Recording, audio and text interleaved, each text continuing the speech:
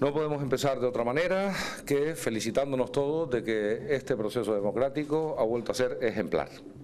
Ejemplar, ni una sola incidencia de mención, un proceso participado, cuatro puntos menos de participación que en las elecciones anteriores, que nunca es una buena noticia,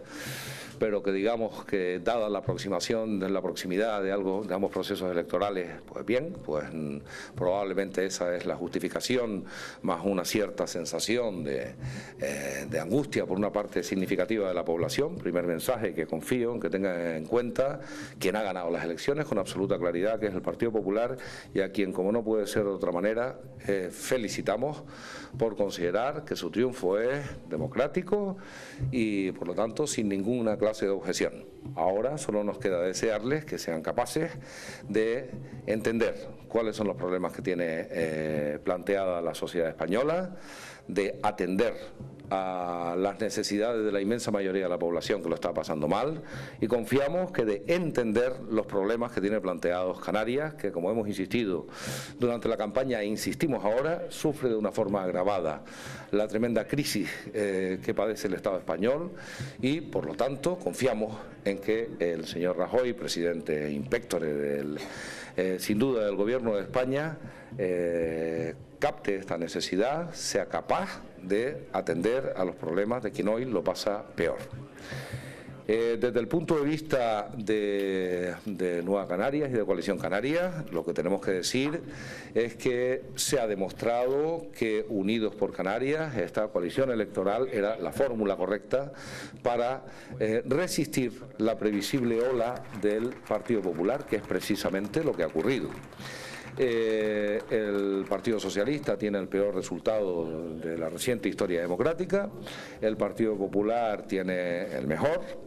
y los nacionalistas hemos sido capaces de resistir en un escenario especialmente difícil. Eh, la polarización electoral es algo a lo que ya estamos acostumbrados en esta tierra. Las elecciones generales siempre son un espacio en el que no entendemos que el, eh, sentimiento nacionalista, la expresión del nacionalismo político se atenúa porque la polarización lo ocupa prácticamente todo y en este escenario hemos sido capaces de resistir.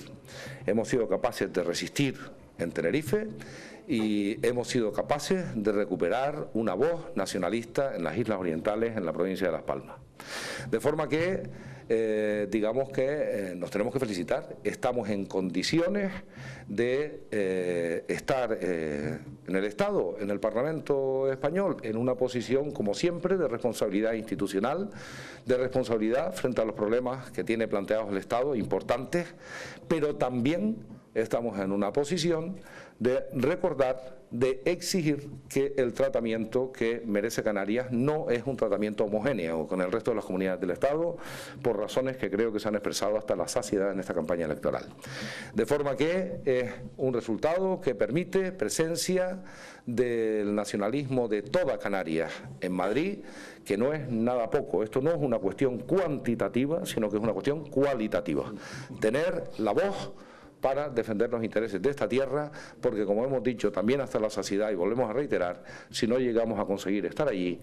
eh, y por esto tenemos que agradecer a, las personas que nos han votado en... No es fácil ¿eh? votar a esta, esta opción con estas mareas. ¿Eh? Eh, bipartidistas. Tenemos que agradecerles el voto y también les tenemos que decir, y al conjunto de la sociedad canaria también, que nosotros vamos a garantizar que la voz de Canarias esté, esté bien alta y fuerte en el Parlamento español. Esto no es una cuestión de número, es una cuestión de convicción, es una cuestión de presencia y ese objetivo está logrado.